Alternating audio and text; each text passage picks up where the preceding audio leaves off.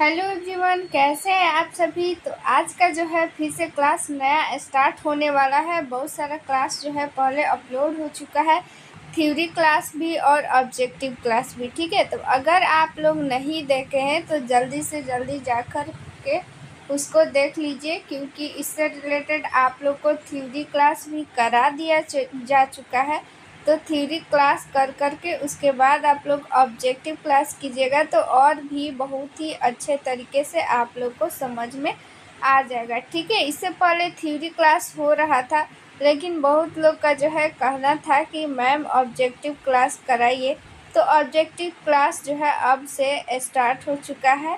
ठीक है तो आप लोग को पता ही होगा कि डेली जो है आठ बजे रात में डेली आठ बजे रात में क्लास स्टार्ट हो जाती है, ठीक है? तो आप लोग डेली रात में आठ बजे देखना नहीं भूलिए।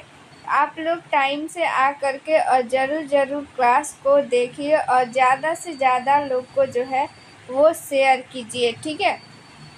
इससे पहले आप लोग को बता दें कि आप लोगों के लिए पीडीएफ जो है वो तैयार हो चुका है, ठीक है? और पीडीएफ में प्रीवियस ईयर क्वेश्चन रहने वाला है और क्या रहने वाला है? नया जो भी एग्ज़ाम सिलेबस है, उसके अकॉर्डिंग ये पीडीएफ को तैयार किया गया है, ठीक है?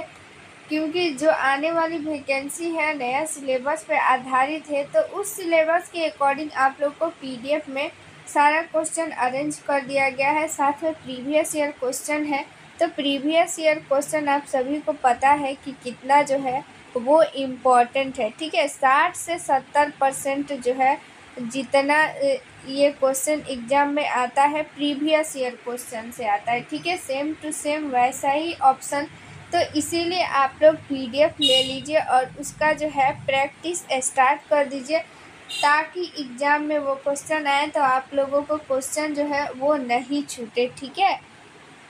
साथ में अगर ये पीडीएफ आप लोग लेते हैं तो पीडीएफ लेने का फ़ायदा ये होगा कि आप लोगों को टेस्ट सीरीज़ की भी ज़रूरत नहीं होगा, ठीक है? तो पीडीएफ इसमें आप लोगों को जो है टेस्ट की भी सुविधा प्रदान होती है, ठीक है? क्योंकि इसमें जो है जितना क्वेश्चन दिया गया है, सबका जो है ये वन लाइनर फॉर्मेट में नहीं है।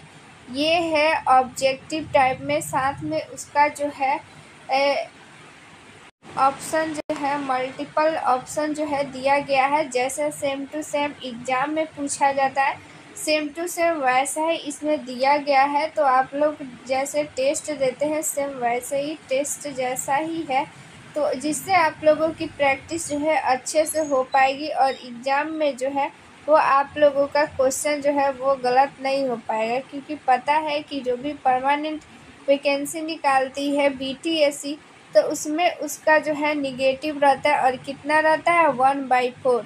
यानी कि जब आप लोग चार क्वेश्चन गलत कर दीजिएगा तो आप लोगों का जो भी सही क्वेश्चन है, सही नंबर जो आया हुआ है, उसमें से एक नंबर कट जाएगा।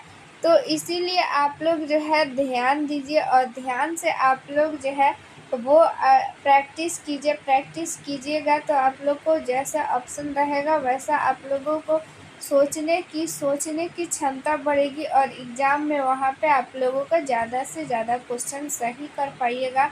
और ये, यहाँ पे आप लोग पीडीएफ पढ़िएगा तो आप लोग को ये भी समझ में आ जाएगा कि किस टाइप का क्वेश्चन पूछा जा रहा है, किस टाइप पे। तो आप लोगों को जो है उससे रिलेटेड क्वेश्चन भी दिया गया है।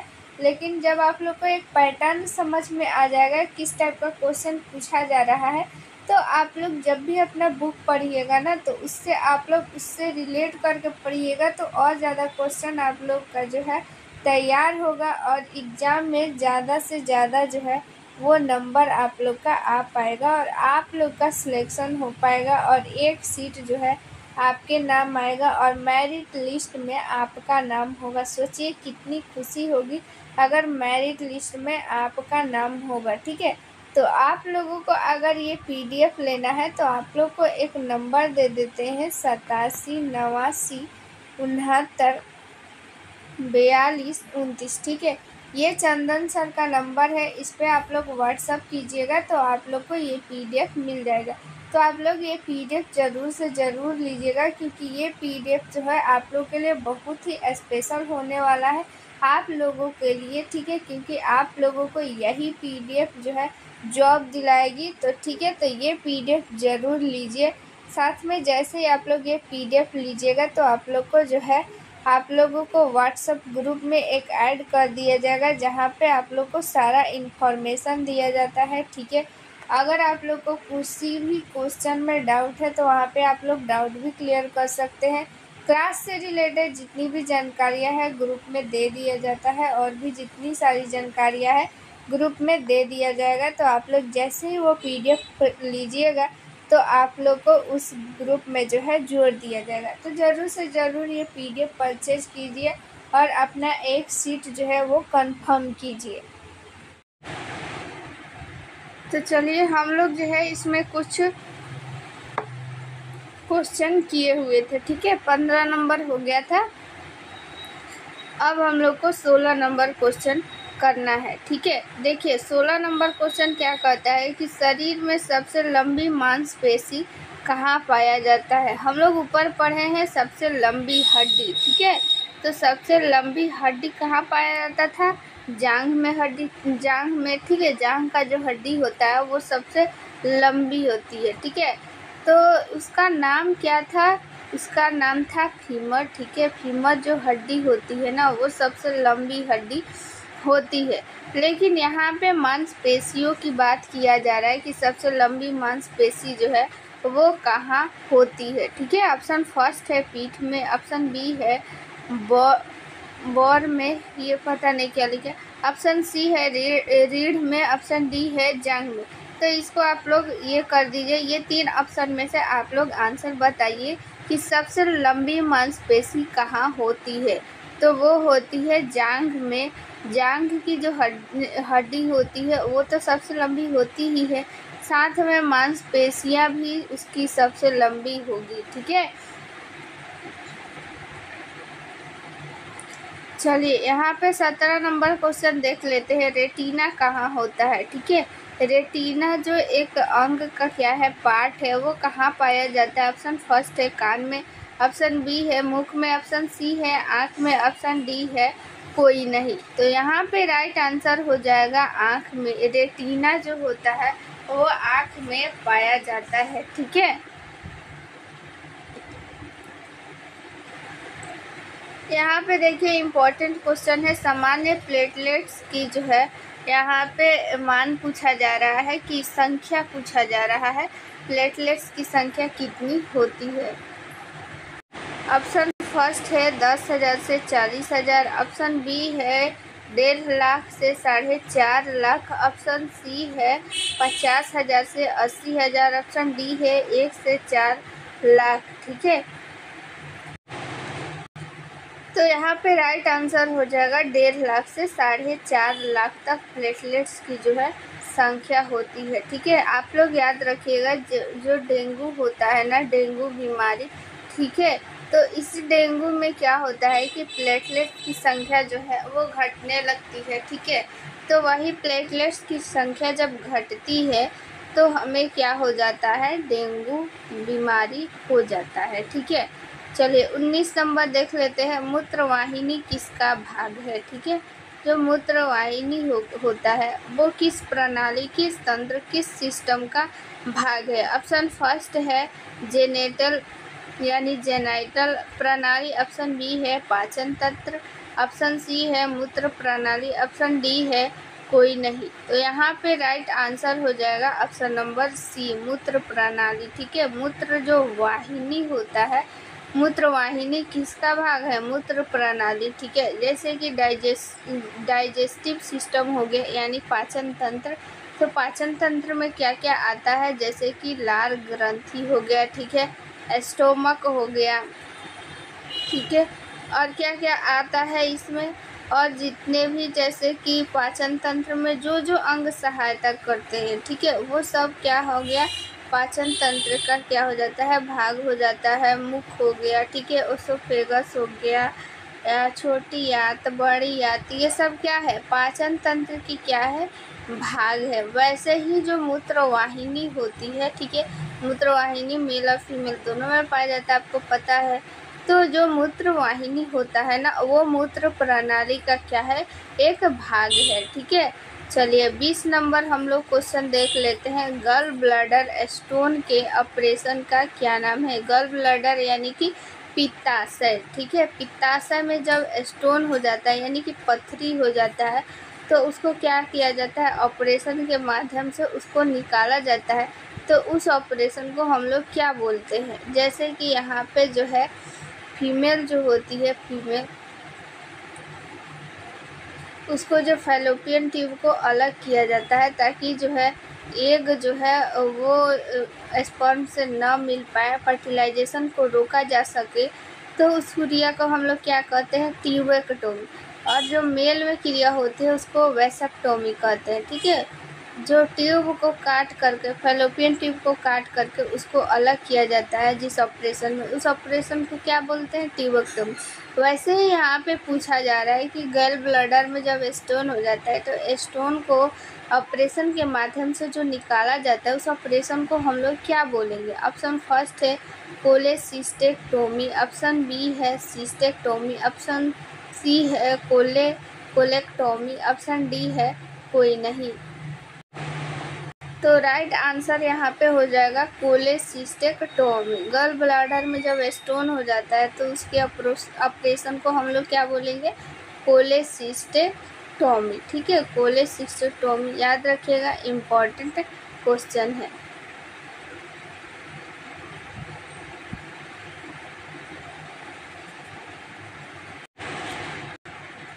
देखिए, अगला क्वेश्चन क्या कर रहा है? कैटरेक्ट आँख के किस स्ट्रक्चर में होता है। कैटरेक्ट यानी कि यहाँ पे इसको जो है हिंदी में हम लोग मोतिया बिंद बोलते हैं, ठीक है? मोतिया बिंद बोलते हैं। तो याद रखिएगा, इसको कैटरेक्ट भी बोलते हैं। इसका जो है इंग्लिश नाम भी कभी कभी एग्ज़ाम में दे देता है। तो दोनों आप लोग याद रखिएगा कंफ्यूज बिल्कुल भी मत होइएगा। तो आँख के किस भाग में होता है, ये तो अभी आप लोग को पता चल गया होगा, ठीक है? तो देखिए, ऐसे इजी इजी क्वेश्चन को एग्ज़ाम में क्या बनाया जाता है? हार्ड बनाया जाता है। है तो कितना इजी क्वेश्चन जब सब लोग इसका हिंदी जानेंगे, तब उसको सोचेंगे कि ओ माय गॉड ये तो कितना इजी क्वेश्चन हम लोग एग्ज़ाम में छोड़ के आ गए हैं। तो वैसे ही आप लोग याद रखिएगा ऑप्शन फ़र्स्ट है कॉर्निया ऑप्शन बी है रेटिना ऑप्शन सी है स्क्लेरा ऑप्शन डी है लेंस ठीक है? तो आप सभी को पता है कि जो मोतिया बिंद होता है, वो लेंस में होता है। लेंस में क्या होता है कि एक परत बन जाता है, ठीक है? कैल्शियम की परत बन जाता है, जिससे कि हमें क्या होता है? धुंधला दिखाई देने लगता है, ठीक है? तो उसी को हम लोग मोतिया बिंद बोलते हैं। मोतिया बिंद का ऑपरेशन आप लोग को पता है कि क्या किया जाता है? ऑपरेशन के द्वारा उस परत को जो लेंस पे जम गया रहता है, उस परत को काट करके और फिर क्या किया जाता है? निकाल दिया जाता है, ठीक है? चलिए, यहाँ पे 22 नंबर क्वेश्चन देख लेते हैं। वर्टिब्रल कॉलम में सैक्रम कहाँ होता है, ठीक है? ये स्केलेटल सिस्टम का क्या है? ये क्वेश्चन है तो वर्टिब्रल कॉलम क्या होता है? कि रीढ़ की हड्डी में ऐसे ऐसे रहता है, ठीक है? वर्टिब्रा कॉलम बोलते हैं। तो इसी भटिब्रा कॉलम में सैक्रम कहाँ पाया जाता है, ठीक है? ऊपर पाया जाता है, बीच में, नीचे, कहीं नहीं पाया जाता है, ठीक है? तो यहाँ पे राइट आंसर हो जाएगा नीचे, ठीक है? भटिब्रा कॉलम में सैक्रम जो होता है, वो नीचे, सबसे नीचे पाया जाता है। सैक्रम की संख्या कितना होता है? सैक्रम की संख्या जो होता है, वो पाँच होता है, ठीक है? आगे चल करके ये संख्या क्या हो जाता है? हड्डियों की संख्या जुड़ जाता है तो आगे जब व्यस्त हो जाते हैं तो इसकी संख्या कितना हो जाता है? एक हो जाता है। ये देखिए इस पिक में, ठीक है? ये पूरा स्केलेटल सिस्टम है। यहाँ पे ये क्या है? ये भर्टिब्रा कॉलम है, ठीक है? इसी में यहाँ पे आप लोग देखिए, ये वाला, ये सैक्रम है, ठीक है? चौड़ा टाइप का आपका जो यहाँ पे दिखा रहा है, वही क्या है? सैक्रम है ठीक है याद रखिएगा। बोन से भी रिलेटेड एक क्वेश्चन पूछा जाता है, ठीक है? ये भी पूछा जा सकता है कि ये जैसे कि रेडियस हो गया, ठीक है? रेडियस बोन जो होता है, वो कहाँ पाया जाता है? तो हाथ में पाया जाता है, ठीक है? ये हो गया, ये कंधा यहाँ पे हो गया, ठीक है? ये ऐसे कंधा जुड़ा रहता है, उसके बाद क्या आता है? यहाँ पे एल्बो आता है, उसके बाद ये हाथ आता है, उसके बाद ये उंगली बना रहता है, ठीक है? तो रेडियस जो होता है यहाँ पे, जो अंगूठे की साइड का बाहर वाला जो हिस्सा होता है, यहाँ पे आप सभी को पता है हाथ में दो हड्डी पाया जाता है रेडियस और अल्ना। तो अंगूठा के साइड में जो हड्डी होता है, वो होता है रेडियस और नीचे के साइड में जो होता है, वो होता है अल्ना। ठीक है? याद रखिएगा। यहाँ पे तेईस नंबर क्वेश्चन देखिए, अपेंडिक्स में दर्द कहाँ होता है? जब किसी को अपेंडिक्स हो जाता है, ठीक है? सुनते होंगे कि उसको क्या हो गया है? अपेंडिक्स हो गया है। तो अपेंडिक्स होने पे पेट में किस साइड दर्द होता है? पेट में तो दर्द होता ही है, लेकिन किस साइड दर्द होता है? तो आप लोग देखिए किस साइड दर्द होगा। जिस साइड अपेंडिक्स होगा तो आप सभी बताइए कि अपेंडिक्स जो होता है, वो कहाँ होता है, ठीक है? अपेंडिक्स क्या है कि एक अंग का भी नाम है जैसे कि आँख हो गया, नाक हो गया। वैसे अपेंडिक्स क्या है? एक अंग का नाम है, ठीक है? तो वही क्या होता है ना, अपेंडिक्स बढ़ता है, ठीक है? उसका साइज़ बढ़ने लगता है ना तो वो पेट में क्या करने लगता है? दर्द होता है। तो आप लोग बताइए कि अपेंडिक्स में किस साइड दर्द होता है? ऑप्शन फ़र्स्ट है बायां ऑप्शन बी है, नीचे दाएँ ऑप्शन सी है, ऊपर बाएँ ऑप्शन डी है, बाएँ, नीचे बाएँ। ठीक है? तो यहाँ पे राइट आंसर क्या हो जाएगा? ऑप्शन नंबर बी, नीचे और राइट साइड ठीक है? क्योंकि अपेंडिक्स जो है राइट साइड में पाया जाता है, नीचे। ठीक है? अपेंडिक्स का पहले हमारे बॉडी में क्या रहता था?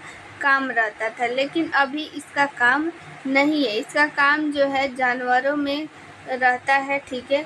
इसका काम क्या है कि जो भी हम घास फूस ये सब जो खाते हैं, ठीक है? जो भी सेलुलोज से रिलेटेड होता है, ठीक है? साग ये सब कुछ तो उसको पचाने में मदद करता है अपेंडिक्स तो अभी हमारे क्या बॉडी में इसका जो है यूज़ ख़त्म हो गया है। पहले के जो आदिवासी थे, उनमें ये जो है अंग महत्वपूर्ण था, लेकिन अभी ये जो अपेंडिक्स है वो अवशेषी अंग बन चुका है, ठीक है? अवशेषी अंग जानते हैं, जैसे कि हमारे शरीर का बाल, ठीक है? या नाखून, ये सब क्या है? अवशेषी अंग में आते हैं। जैसे यहाँ पे ये हो गया कान, ठीक है? कान का जो बाहरी ये हिस्सा है, ठीक है? तो ये भी अवशेषी अंग है, ठीक है? तो वैसे ही अपेंडिक्स भी एक अवशेषी अंग है, ठीक है? अवशेषी अंग किसको बोलते हैं? जिसका हमारे बॉडी में कभी जो है यूज़ नहीं आता है। यानी कि वो जो है नहीं भी रहेगा तो हमारा काम चल जाएगा। वो ऐसे फालतू का हमारे बॉडी में रहता है। जैसे कि बाल, ठीक है, बाल क्या है कि पहले जो आदिवासी रहते थे, उनमें यूज़ आता था बड़ा बड़ा बाल रहता था तो ठंड में से, ठंड से बचाती थी, धूप से बचाती थी, क्योंकि उस टाइम उन लोग के पास घर रहने के लिए नहीं था, नहीं ओढ़ने के लिए रहता था, ठीक है? तो ठंडी में जो बाल होते थे, उनको बहुत ज़्यादा क्या होता था, मदद मिलता था ठंड से बचने के लिए। लेकिन अभी क्या हो गया है, इसका यूज़ हमारे बॉडी में ख़त्म हो गया है अपेंडिक्स का भी ख़त्म हो गया अभी हम लोग घास फूस ये सब नहीं खा रहे हैं तो अपेंडिक्स जब बढ़ता है तो उसको काट के निकाल भी अगर देंगे हम लोग तो उससे हमारे बॉडी में कोई भी इफ़ेक्ट नहीं पड़ेगा, ठीक है? चलिए चौबीस नंबर यहाँ पे इजी क्वेश्चन है। सभी लोग आंसर बताइएगा कि आईएम इंजेक्शन का पूरा नाम क्या है? ठीक है, हम लोग आईएम इंजेक्शन देते हैं तो उसका पूरा नाम क्या है? Intra main intra mean inside the main intramuscular तो राइट आंसर क्या हो जाएगा? Option number D intramuscular IM ठीक है, यहाँ पे आईएम नब्बे डिग्री पे देते हैं। आईएम जो इंजेक्शन होता है, इसका डिग्री पूछा जाए तो आप लोग बताइएगा। नब्बे डिग्री। नब्बे डिग्री का मतलब यहाँ पे ये परपेंडिकुलर यहाँ पे सीधा ऐसे हो गया, ठीक है? ये मान लीजिए कि ये क्या हो जाएगा कि ये बाजू हो गया। तो 90 डिग्री यानी कि आईएम जो भी इंजेक्शन देना रहेगा तो ये जो है ऐसे हम लोग सीधा देंगे, ठीक है? ये सीधा हम लोग इंजेक्शन ऐसे देंगे, ठीक है? अगर बहुत ज़्यादा जो पतला लोग होगा तो थोड़ा सा हम लोग जो है ऐसे नीचे करके हम लोग दे सकते हैं, ठीक है? थोड़ा सा नीचे करके ऐसे दे सकते हैं। बहुत ज़्यादा अगर मसल्स जो है उसके में कम है तो ठीक है? लेकिन अगर आप लोग को डिग्री पूछे तो आप लोग नाइन्टी डिग्री ही आंसर दीजिएगा। चलिए पच्चीस नंबर देख लेते हैं। सबसे लंबा बोन इनवर्ड यानी सबसे लंबा जो है बोन हड्डी जो है शरीर में कहाँ पाया जाता है? कौन सा है? ठीक है? ऑप्शन बी है फीमर ऑप्शन ऑप्शन ए है फीमर ऑप्शन बी है त्रिज्या ऑप्शन सी है अल, अलना ठीक है? ऑप्शन डी है कोई नहीं। तो यहाँ पे राइट आंसर क्या हो जाएगा? फीमर। फीमर जो होता है हमारे बॉडी में सबसे लंबी हड्डी होती है और जांग में पाया जाता है ठीक है? और अलना बताइएगा अभी थोड़ा देर पहले बताए थे कि अलना जो है हमारे बॉडी में कहाँ पाया जाता है किस अंग में? पाया जाता है। सभी का आंसर आना चाहिए, ठीक है? चलिए 26 नंबर क्वेश्चन हम लोग देख लेते हैं। 26 नंबर क्वेश्चन क्या कहता है कि सबसे लंबा मसल्स ठीक है? ऑप्शन फ़र्स्ट है डेल्टोइड ऑप्शन बी है ग्लूटस ऑप्शन सी है रेक्टस ऑप्शन डी है सर्ट सर्टोरियस ठीक है? तो सर्टोरियस जो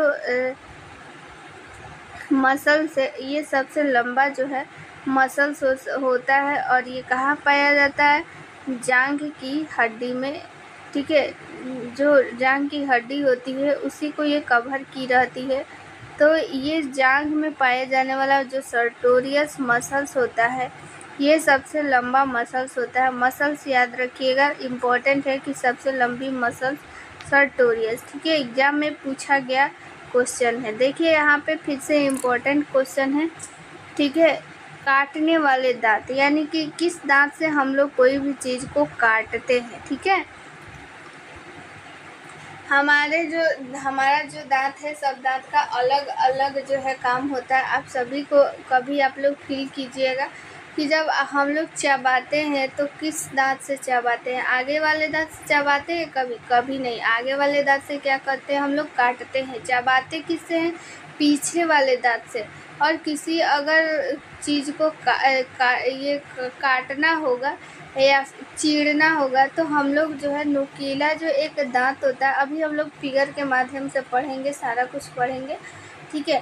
तो अभी फ़िलहाल बताइए काटने वाला दांत का नाम क्या होता है? ऑप्शन फ़र्स्ट है मोलर ऑप्शन बी है कैनाइन ऑप्शन सी है कृंतक ऑप्शन डी है कोई नहीं। तो यहाँ पे काटा जाता है, उसका नाम है कृंतक इनको, इसको इंग्लिश में इंसाइजर भी बोलते हैं, ठीक है? इंसाइजर इंसाइजर तो इसका हिंदी और इंग्लिश दोनों याद रखिएगा, दोनों ही एग्ज़ाम में दे देता है। तो इंसाइजर जो आगे वाला ऐसे दांत होता है, चलिए आप लोग को फिगर में दिखा देते हैं। ये देखिए इंसाइजर दांत, ठीक है? ये जो चार ये हड्डी बोल रहे हैं, दांत, ऊपर भी ये चार सेम ही होता है, ठीक है? नीचे जैसा सेम दांत होता है, वैसे ही ऊपर भी दांत होता है। तो ये जो चार हुए ना, यहाँ पे यही इंसाइजर है। इसी से हम लोग, आप लोग को जो है, अब ध्यान दीजिएगा कि कैसे काटते हैं। आगे वाले दांत से, ठीक है? ऊपर चार होता है और नीचे चार। तो टोटल इंसाइजर दांत की संख्या कितना हो गया?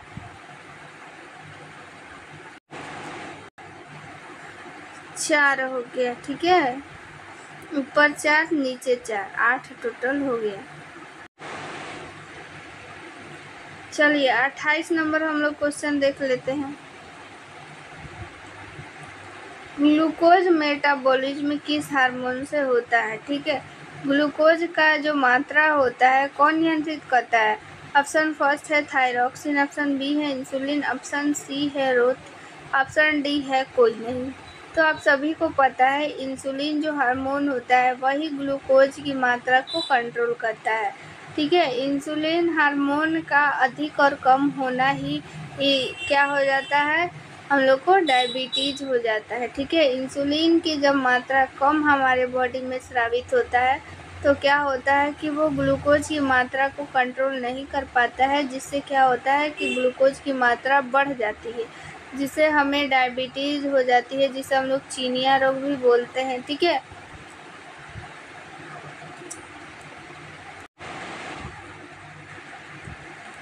चलिए, उनतीस नंबर हम लोग क्वेश्चन देखते हैं। डब्ल्यू सी में कौन सा सेल जो है सबसे ज़्यादा पाया जाता है? यानी डब्ल्यू सी में सबसे ज़्यादा जो कोशिका होती है, वो कौन सी है? ऑप्शन फ़र्स्ट है, लिम्फोसाइट ऑप्शन बी है, मोनोसाइट ऑप्शन सी है, न्यूट्रोफिल ऑप्शन डी है, कोई नहीं। तो राइट आंसर क्या हो जाएगा? न्यूट्रोफिल, ठीक है? न्यूट्रोफिल जो होता है डब्ल्यूबीसी में सबसे ज़्यादा पाया जाता है। डब्ल्यूबीसी का फुल फॉर्म होता है white blood cell white blood white blood cell, ठीक है? वाइट ब्लड सेल में सबसे ज़्यादा जो पाया जाता है वो न्यूट्रोफिल पाया जाता है। डब्ल्यूबीसी क्या करता है? हमारे शरीर में रोग प्रतिरोधक क्षमता क्या करता है? बढ़ाता है, ठीक है? मोनोसाइट जो होता है डब्ल्यूबीसी में सबसे छोटी कोशिका होती है, ठीक है?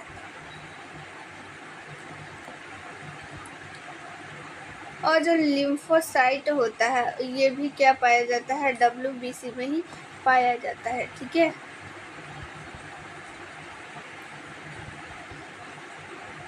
देखिए, तीस नंबर क्वेश्चन आ गया कि तीस नंबर क्वेश्चन क्या कहता है कि ग्लाइकोसूरिया का अर्थ क्या है, ठीक है?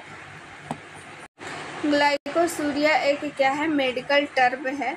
जैसे कि हम लोग क्या बोलते हैं कि अगर जैसे कि ओलीगोरिया हो गया, ठीक है? वैसे ही एक है ग्लाइकोसूरिया, ठीक है? इसका अर्थ क्या होता है? जैसे कि फ़र्स्ट ऑप्शन है पीत ऑप्शन बी है मूत्र में शर्करा, ऑप्शन सी है लाल। तो यहाँ पे राइट आंसर हो जाएगा ऑप्शन नंबर बी देखिए, इसमें होता क्या है कि जब जो है मूत्र में क्या हो जाता है कि शर्करा की मात्रा बहुत ज़्यादा जो है बढ़ जाता है तो उसको हम लोग ग्लाइकोसूरिया बोलते हैं। देखिए, क्या होता है कि जब ब्लड में ठीक है ब्लड में बहुत ज़्यादा मात्रा में क्या हो जाता है कि ग्लूकोज की मात्रा बढ़ जाती है। तो ग्लूकोज की मात्रा बढ़ जाती है तो क्या करता है कि जैसे कि हमारे शरीर में जो ग्लूकोज की अगर अधिक मात्रा रहती है तो जो किडनी होता है, ठीक है? किडनी जिसको हिंदी में हम लोग गुर्दा भी बोलते हैं, ठीक है? तो वो क्या करता है, अवशोषित कर लेता है। लेकिन बहुत जब ज़्यादा मात्रा में हो जाता है तो उसको अवशोषित नहीं कर पाता है, ठीक है? वो असक्षम हो जाता है, असमर्थ हो जाता है उसको अवशोषित करने में। तो वही क्या होता है कि ग्लूकोज जो होता है कि हमारे मूत्र के माध्यम से बहुत सारा मात्रा में स्रावित होने लगता है, ठीक है? तो उसी को हम लोग क्या बोलते हैं? ग्लाइकोसूरिया हो गया, यानी मूत्र में शर्करा की मात्रा जो है, बहुत ज़्यादा बढ़ गया है। तो आप लोग चाहते हैं कि इस पी को लिखना नहीं पड़े, ठीक है? लिखने से बचना है और फिर जो भी आप लोगों के सामने जो भी एग्ज़ाम हुआ है, जैसे हाल ही में बी टी एस सी दस हज़ार सात सौ नब्बे एन एम का एग्ज़ाम हुआ है, या फिर आठ हज़ार आठ सौ तिरपन का जो एग्ज़ाम हुआ था कंटेक्ट पे, या फिर आठ सौ पैंसठ का एग्ज़ाम हुआ था सारा का एग्ज़ाम का जितना भी क्वेश्चन आप लोग को एक साथ देखना है, ठीक है? उस क्वेश्चन को एनालिसिस करना है तो आप लोग ये पीडीएफ ले लीजिए, ठीक है? इस पीडीएफ में मिलेगा आप लोग को चार हज़ार प्लस क्वेश्चन और उसमें रहेगा प्रीवियस ईयर क्वेश्चन। यानी पिछला जितना भी एएनएम का एग्ज़ाम हुआ है, सारा क्वेश्चन रहने वाला है। इसमें सारे शिफ्ट का क्वेश्चन रहने वाला है और प्लस जो भी इससे रिलेटेड भी आई क्वेश्चन बन सकता है, वो सारा क्वेश्चन आप लोग के सामने इसमें रहेगा, जिससे आप लोग खुद भी एनालिसिस कर पाएँगे, खुद से भी समझ पाएँगे कि किस टाइप का क्वेश्चन जो है, वो पूछा जा रहा है, किस टाइप का क्वेश्चन पूछा जा सकता है, ठीक है? जो भी इम्पोर्टेंट क्वेश्चन है, सारा क्वेश्चन रहेगा। ए, जो भी एन एम में छः सब्जेक्ट होता है, ठीक है?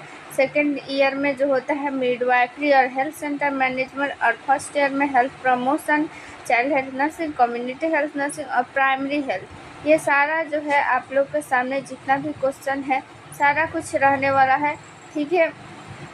और सारा इम्पोर्टेंट जितना भी क्वेश्चन है, सारा रहेगा। आप लोग को लिखने की ज़रूरत नहीं है। सारा एक पीडीएफ में मिल जाएगा। इस पीडीएफ को अब आप लोग के मन में आना आ रहा होगा कि ये पीडीएफ कैसे ले। तो ये पीडीएफ लेने के लिए आप लोग के सामने एक व्हाट्सअप नंबर यहाँ पे दिख रहा है। ये व्हाट्सअप नंबर चंदन सर का है। ये व्हाट्सअप नंबर आप लोग जो है स्क्रीनशॉट ले लीजिए और अपने जो है मोबाइल में सेव कर लीजिए और फिर इस पर व्हाट्सअप कीजिए कि पीडीएफ चाहिए। तो आप लोगों को ये पीडीएफ व्हाट्सएप पे मिल जाएगा, ठीक है? बहुत ही इंपॉर्टेंट ये पीडीएफ है। आप लोग के सामने जो भी एग्ज़ाम में वैकेंसी आने वाली है सॉरी जो भी वैकेंसी आने वाली है, ठीक है? वो वैकेंसी में इस पीडीएफ से आप लोग हंड्रेड परसेंट श्योर रहिए कि इस पीडीएफ से ही क्वेश्चन आने वाला है। क्योंकि अभी तक जितना भी एग्ज़ाम हुआ है, सारे एग्ज़ाम का इसमें रहने वाला है प्रीवियस ईयर क्वेश्चन प्लस उससे रिलेटेड जितना भी इम्पोर्टेंट क्वेश्चन है, सारा कुछ इंक्लूड किया गया है, ठीक है? और वो पीडीएफ जो है, इसमें आप लोग को यूट्यूब पे पढ़ाया भी जाएगा। और जो भी एक स्पेशल की पॉइंट है, उसको आप लोग को मिलेगा एक व्हाट्सएप ग्रुप में। जैसे ही आप लोग ये पीडीएफ परचेज कीजिएगा, आप लोगों को एक व्हाट्सएप ग्रुप में ऐड कर दिया जाएगा। और उस जो ग्रुप है, उस ग्रुप में आप लोगों को जो भी पीडीएफ लेंगे, केवल वही रहेंगे और उस ग्रुप में आप लोगों को एक सीक्रेट जो है, वो वीडियो भी शेयर किया जाएगा, जिससे आप लोगों को जो भी डाउट है, वो क्लियर हो पाएगा, ठीक है? जो भी डाउट है, वो आप लोग पूछ भी सकते हैं। क्लास का सारा अपडेट उसमें मिल जाएगा, ठीक है? जितनी भी परेशानी है, आप लोग वहाँ से शेयर कर सकते हैं। ये व्हाट्सअप नंबर आप लोग जो है व्हाट्सअप नंबर सेव कर लीजिए, चंदन सर का है। तो आप लोग ये पीडीएफ ज़रूर लीजिए, ये व्हाट्सअप नंबर है व्हाट्सअप नंबर पे तुरंत ही मैसेज कीजिए। चलिए अब हम लोग देखते हैं अगला क्वेश्चन